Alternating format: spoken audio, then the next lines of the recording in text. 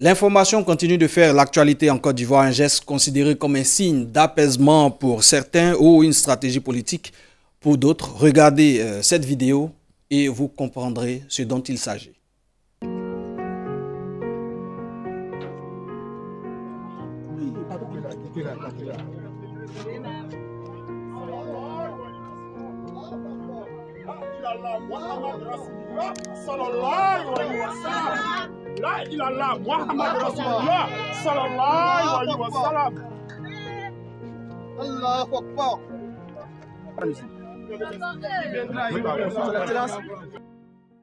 Vous venez de voir la sortie de prison de Suleiman Kamaraté, il n'est pas le seul. Euh, avec lui, il y a 50 autres détenus qui ont bénéficié d'une grâce du président de la République Alassane Ouattara. C'est donc le sujet qui nous préoccupe aujourd'hui. Et pour en parler, nous recevons le politologue euh, euh Sylvain Nguessan, bien sûr. Bienvenue sur le plateau de, cette info. Merci. D'accord. Donc, euh, avec vous, nous allons parler euh, de la dernière grâce présidentielle accordée à plus de 50 euh, détenus. Moi, j'ai une question.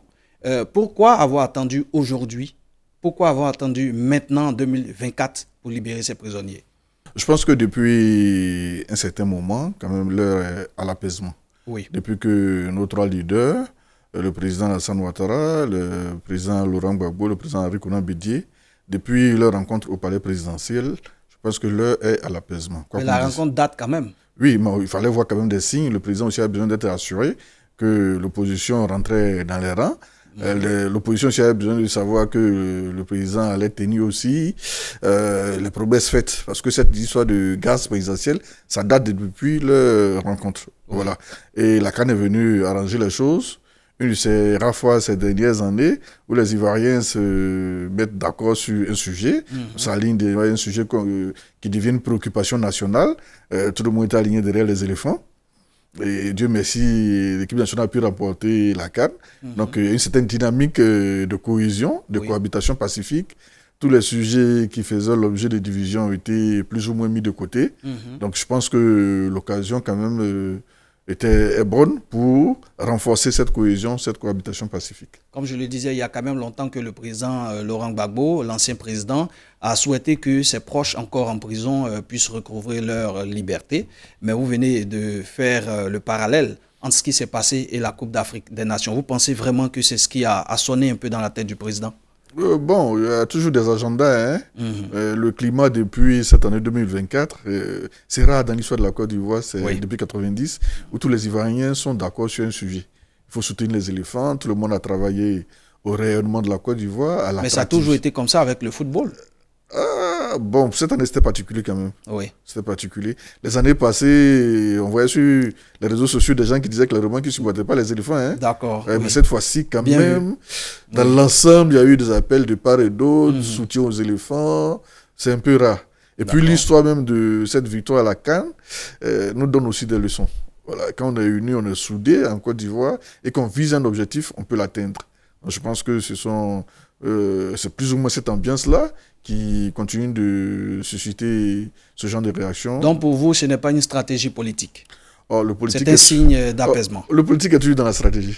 D'accord. le politique est toujours dans la stratégie. Le politique fait toujours la politique. Oui. Donc le politique attend toujours des bénéfices. Mhm. Donc naturellement, le climat, les, les faveurs lui reviennent. Savoir que le président est dans une logique de réconciliation assez poussée. Mhm. Parce que quand on interroge les Ivoiriens, ceux de l'opposition ont toujours dit qu'il n'y a pas de réconciliation parce qu'il y a toujours des prisonniers. Mhm. Voilà. Et parmi ces prisonniers, les noms qui ressortent, euh, c'est M. de Boblé, M. Souleymane Karamanté, et puis aussi M. Seka. Mhm. Voilà. Donc euh, je pense que le président libérant euh, ces personnes-là, euh, voilà, il essaie d'amener les Ivoiriens à tourner il au passé. Dans, dans la réconciliation nationale. voilà, à laisser tomber les jeux de mots et puis à regarder de l'avant. Et c'est surtout euh, ma prochaine question, euh, l'impact de ces libérations sur la réconciliation nationale. Parce qu'on dit enfin que la Côte d'Ivoire est réconciliée avec ces derniers prisonniers qui sortent. Si ce sont vraiment les, les, derniers qui restent à la Maca. je pense que dans l'ensemble, mhm ceux des Ivoiriens qui disaient que la réconciliation n'était pas une réalité auront très peu d'arguments à avancer maintenant, je mhm. pense bien. Parce mhm. que euh, euh, ceux qui disaient que la Côte d'Ivoire est toujours en guerre, il n'y a pas encore de réconciliation, c'est la paix par la peur, c'était toujours surtout la question des prisonniers politiques. Mhm. des prisonniers, des prisonniers politiques, mais c'est qu'il y avait des personnes en prison. Dès lors que ces personnes sortent, bon, il y a la question des réparations, tout ça, mais généralement, euh, les Ivoiriens sont un peu plus regardants sur la question des prisonniers. Donc, pour l'instant, on a peu de choses à reprocher au président actuel. Bon, ce sont des questions de gouvernance quotidienne, donc bon, euh, on pourrait lui reprocher ceci, cela, mais au moins, pour ce qui est du conflit de 2010-2011, mhm. on aura tourné la page.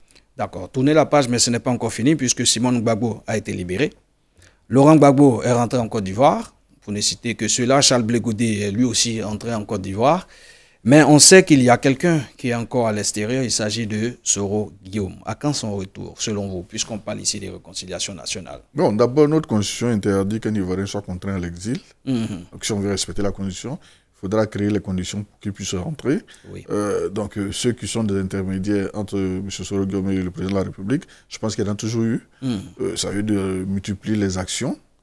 Euh, serait intéressant aussi que M. Sorogion puisse garder un peu le silence parce qu'il y a des éléments de langage. On peut comprendre sa frustration. Mais il a gardé le silence euh, depuis quelque temps. Oui, mais qu'on l'entend? Le premier discours qu'il a tenu quand il est arrivé en Afrique, pour moi, hein, mhm. je peux comprendre sa frustration. il n'aurait pas dû, selon voilà, Il aurait pu faciliter la tâche mhm. à ceux qui essaient de les rapprocher encore. Mhm. Voilà, donc euh, je pense que le climat s'y prête.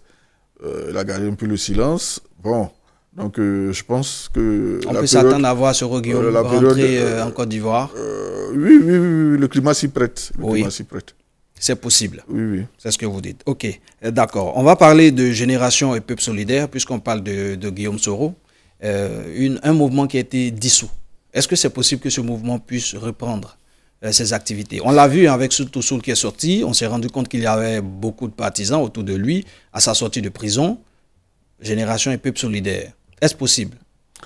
Euh, Bon, à partir du moment où les principaux cadres euh, de l'ex-GPS sont dehors, mhm. créer un parti politique en Côte d'Ivoire, c'est pas si compliqué. Donc, euh, même si le GPS est dissous, demain, ils peuvent avoir une autre formation créer Un autre... Ah oui, ça, c'est une information que vous nous donnez. Donc, c'est possible de ne plus revenir avec GPS, mais créer un autre mouvement ou un parti politique. Ça, c'est fréquent dans l'histoire de la Côte d'Ivoire. On a vu euh, le, le, FPI et le PPACI. Donc mm. demain, ça peut être GSP, ça peut être SGP. Mm. voilà, donc euh, c'est pas forcément ça le problème, c'est plutôt peut-être la liberté d'expression qui va partir avec, la liberté de réunion. Mm-hmm. Est-ce que le sera permis d'organiser des activités? On parle bien sûr de, des anciens cas de GPS. Oui, justement, voilà.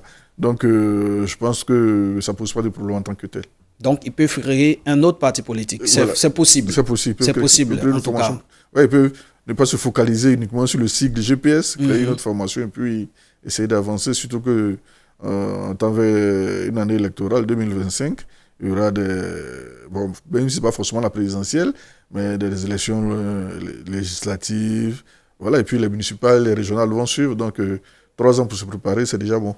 J'aime bien la pêche que vous me tendez de temps en temps, surtout en parlant d'élections. Est-ce qu'avec la sortie de ces cadres de, GPS, avec la sortie même de, de euh, cette cinquantaine ou cette grâce accordée à la cinquantaine de, détenus ou de condamnés, par exemple, vous pensez que les cadres sont redistribués non, dans l'écosystème politique? Je pense pas, je pense pas. Euh, une élection en Côte d'Ivoire... Il n'y a pas de poids. On sait que ça sera toujours une affaire de RHDP, hmm. de PDCI et de PPACI. Selon vous, euh, le pouvoir actuel n'a rien à craindre euh, Je ne pense pas. En tout cas, dans son bastion, mhm. je ne pense pas qu'il y ait foi à craindre. Euh, je ne pense pas. Je ne pense pas. Il n'a pas à craindre de la sortie de Soul du retour de, de Guillaume Soro ou même de la présence de Laurent Gbagbo, de Charles Blegoudé. Pourtant, on voit très bien qu'il y a des meetings et tout ça. Il y a des élections en 2025 et selon vous, les le RHDP n'a rien à craindre. Non, les élections de 2025, c'est un autre cas de figure. Mhm. Une élection présidentielle, c'est à deux tours. Si le premier n'a pas plus de 50% au premier tour, mhm. donc euh, au second tour, il peut y avoir des alliances tacites, comme ce que nous avons vu en 2010. Là, ça peut poser problème au RHDP. Mhm. Mais pour ce qui est des élections législatives, municipales, régionales, je pense que les cadres occupent leur terrain. Euh, ils sont présents sur le terrain. Bon, ajoutant encore qu'ils ont les moyens de le faire, alors que ceux de l'opposition, quand même, c'est un peu difficile. Donc, euh, pour ce qui est de l'élection présidentielle, c'est un autre cas de figure. Mais pour ce qui est des autres élections, je pense que le RHDP est assez enraciné. D'accord. On va faire un peu de, maraboutage. C'est vrai que vous êtes un analyste euh, politique. On va rentrer un peu dans la tête du président de la République. Que peuvent être les prochaines décisions? Parce qu'il nous a surpris avec la, cette grâce présidentielle à, à 50 personnes condamnées, le reste, qu'est-ce que Ouattara peut encore sortir de son sac? À mon, à, mon humble, magie? À mon humble avis, c'est l'occasion en or de se retirer de la politique.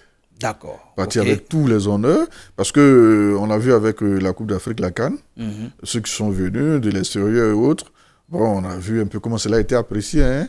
Le bilan du président a été largement apprécié à l'extérieur.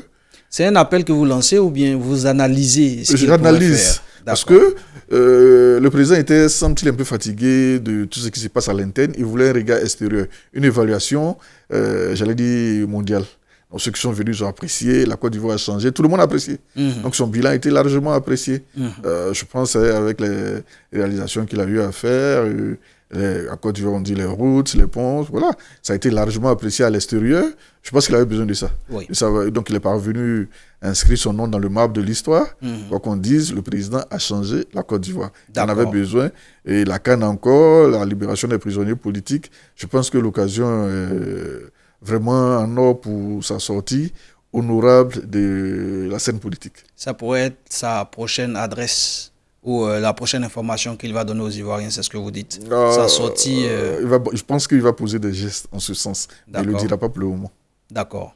Merci Sylvain Guessant d'être passé sur le plateau de cette info. Merci. C'est la fin de cet entretien. Je rappelle qu'avec vous, nous avons parlé de la grâce présidentielle accordée à une cinquantaine de détenus depuis quelques jours ici en Côte d'Ivoire. Euh, merci de nous avoir suivis. C'est la fin de cette émission. Bonne suite des programmes sur cette info et sur cette info.ci. Au revoir.